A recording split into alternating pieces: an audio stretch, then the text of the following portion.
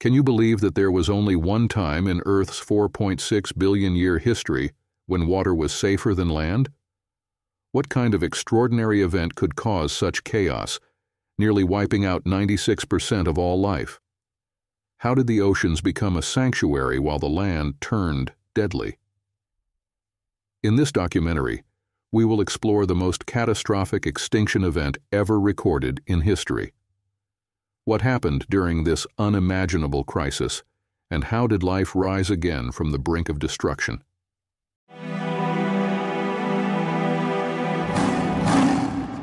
Two hundred and fifty-two million years ago, Earth experienced an ecological upheaval that far surpassed any disaster that had come before it the Permian Triassic extinction.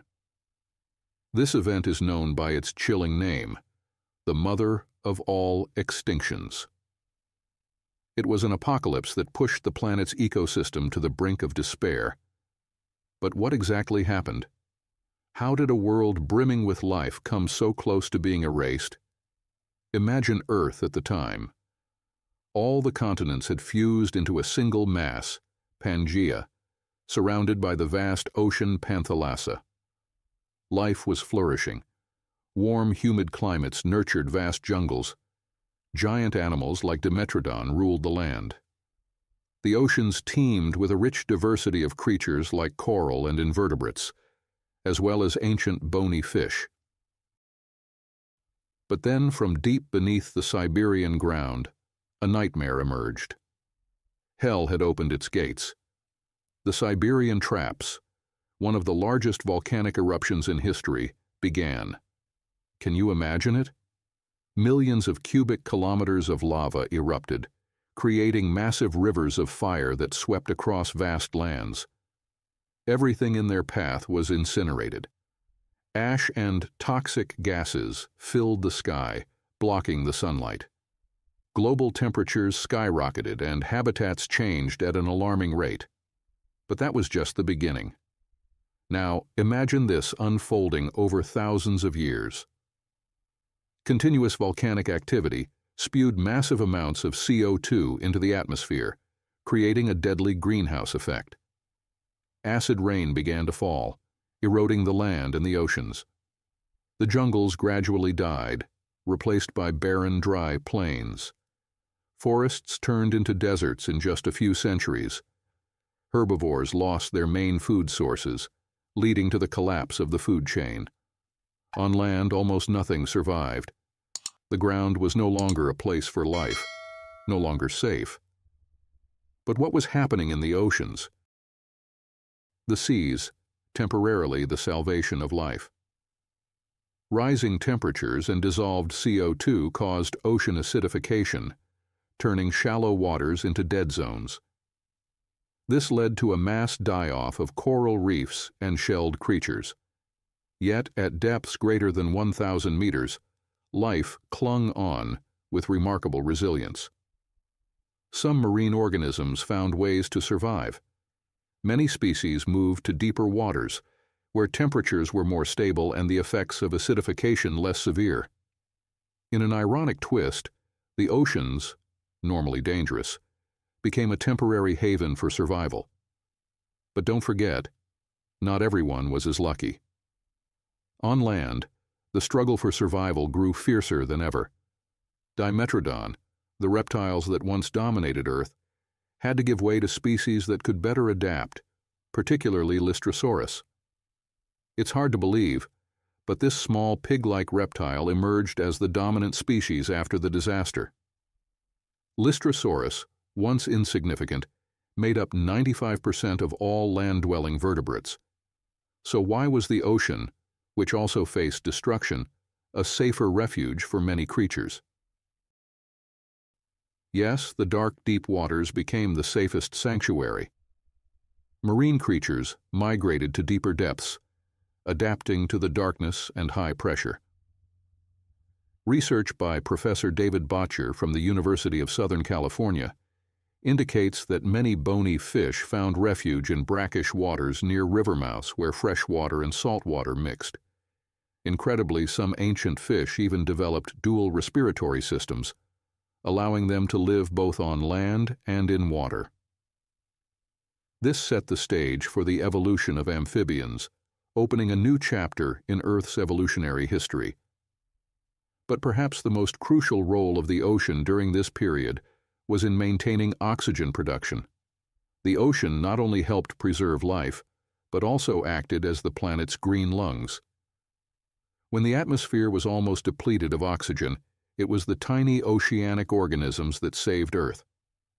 Marine organisms like algae and cyanobacteria continued to photosynthesize. They produced 50 to 80% of the oxygen in the water and atmosphere, preventing life from being completely wiped out. Without the ocean, it's uncertain whether Earth would have sustained any life at all the planet might have evolved in a completely different way. And perhaps humans would not have been the dominant species. Renowned oceanographer Professor Sylvia Earle once emphasized no blue, no green, no ocean, no life, no life, no us. This statement becomes even more meaningful when we look back at the role the ocean played in preserving life during one of Earth's darkest periods. Imagine the scene at the peak of the disaster. The sky turned pitch black, with firestorms and ash covering the atmosphere. Global temperatures reached unbearable levels, with some regions hitting up to 60 degrees Celsius. Sea levels rose, drowning many low-lying areas. It seemed as if everything was coming to an end. But then, from the deep water oases, life began to recover. Marine organisms and various crustaceans survived. Ancient fish, with dual respiratory systems, evolved into amphibians, beginning their conquest of land.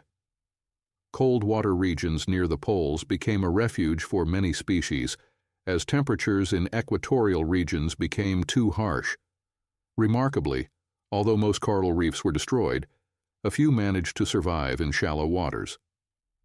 Research by Dr. Wolfgang Kiessling from the German Institute of Paleontology shows that these surviving reefs played a vital role in maintaining marine biodiversity after the disaster. They became the seeds for the regeneration of the rich marine ecosystems we see today. On land, the small reptiles that survived the catastrophe began to diversify, laying the groundwork for the emergence of dinosaurs and mammals in later eras.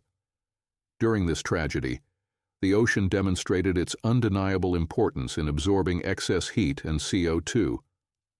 The ocean's ability to absorb and store heat helped mitigate the impact of the sudden temperature spike. According to estimates by the U.S. National Oceanic and Atmospheric Administration NOAA, the ocean absorbs about 90% of the excess heat caused by the greenhouse effect. The ocean also absorbed large amounts of CO2 from the atmosphere, helping to reduce the impact of the greenhouse effect. Since the Industrial Revolution, the ocean has absorbed around 30% of the CO2 emitted by humans. As volcanic activity in Siberia gradually subsided, Earth began its slow recovery. However, this process took an incredibly long time. Eventually, when the Siberian traps finally calmed down, Earth entered a slow recovery period that lasted 10 million years. New ecosystems emerged, with new species of animals and plants appearing. In the early stages of recovery, the world experienced what is called a greenhouse Earth. Global temperatures remained high and the surface layers of the oceans were almost devoid of oxygen. On land, plants began to grow again, but primarily ferns and conifers, species resilient enough to survive in harsh conditions.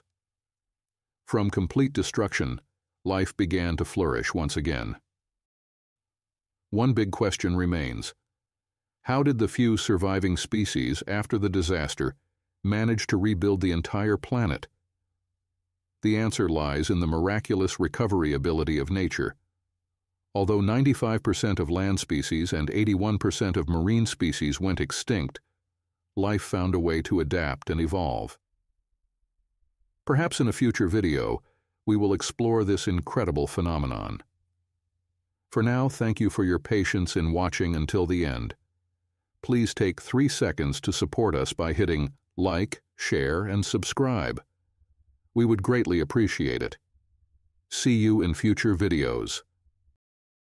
Sincerely,